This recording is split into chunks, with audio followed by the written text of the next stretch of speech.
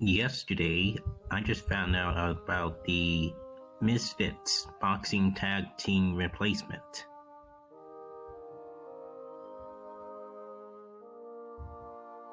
And originally, the tag team was supposed to be Stromedy and Austin Sprinz. The Fantastic Two didn't make it, and I don't know why. But my guess is that Stromedy or Austin Sprinz was ultimately scared of Luis Pineda and B Dave.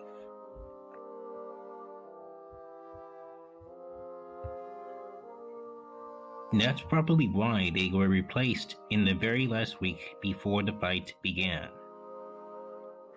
And had I not known that Anthony Vargas and Ice Poseidon would be coming in the last minute of the final days before March 4th, I wouldn't even watch the tag team fight on the show.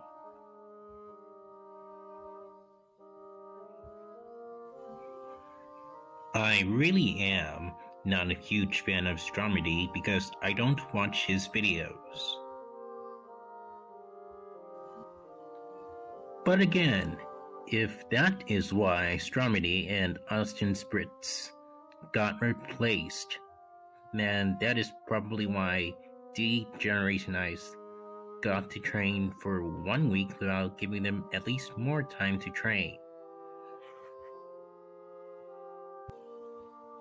I just wish that Misfits Boxy, which is probably the one who scheduled the tag team that they pick, could have moved them to, for example, July at least, so they had a, an amount of time to train.